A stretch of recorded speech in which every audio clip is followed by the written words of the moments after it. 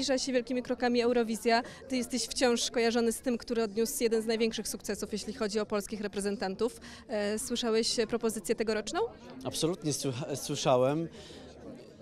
To nie jest propozycja, która do mnie przemówiła. E, Absolutnie ja byłem Team Jan, aczkolwiek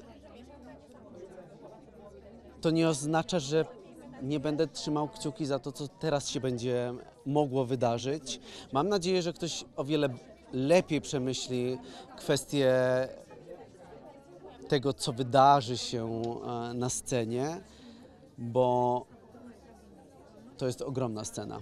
I tam naprawdę musi się dziać. Albo ktoś musi posiadać charyzmę, albo ktoś musi posiadać głos, albo ktoś po prostu potrafi, musi potrafić tańczyć. Więc e, no, dużo pracy, ale to nie oznacza, że nie osiągniemy sukcesu. Ja w to wierzę. E, piosenka jest catchy, e, może nie trafia do mojego gustu, ale krąży. Cały czas krąży i być może to jest właśnie jej sukces.